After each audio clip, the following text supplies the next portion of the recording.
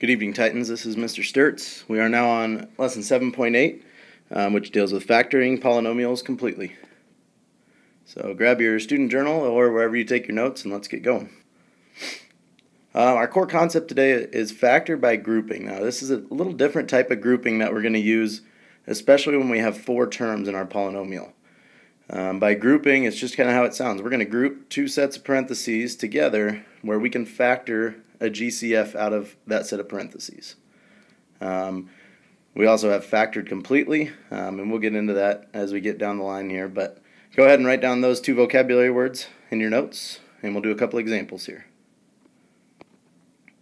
Okay, our first one here, it says factor each polynomial by grouping. Notice we have four terms this time instead of three. So we're always going to use our factor by grouping method.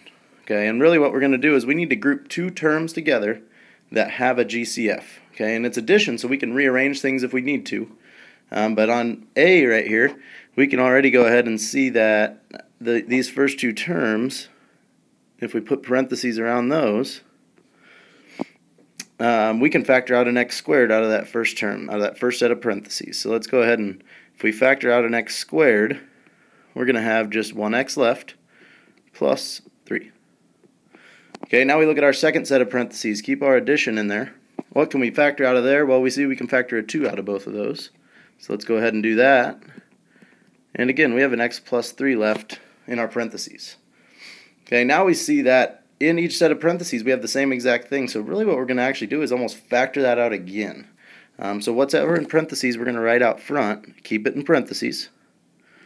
Whatever we have left over now, if we factored out that x plus 3 out of both of those terms there, what we have left is an x squared, okay, because we factored out this x plus 3, it's gone, plus 2, okay, because we factored that x plus 3, we pulled it out front.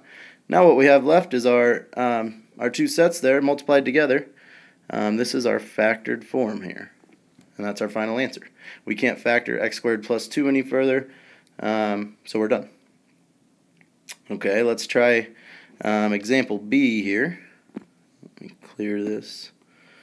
Okay, now we look at those first two terms, x squared and y. We can't factor anything out of that, so what we really need to do is rearrange it. Um, it's an addition problem, so we know we can do that. Let's just go ahead um, and let's flip this x and y. Okay, so if we rewrite it, we have x squared plus x. We can we know we can factor an x out of those, plus our other two terms. If we have y plus xy, we know we can factor a y out of there.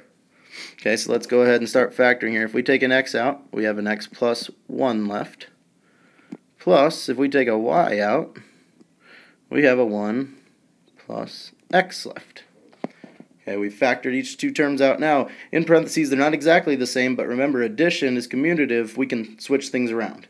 Okay, so really we have x plus 1 in our parentheses. That's what we're looking for with grouping and we're done. If we rewrite that, if we pull that x plus 1 out front, what we have left over is our x plus y, and we have our factored form, and we're finished. Okay, that's really, in general, that's how we factor by grouping.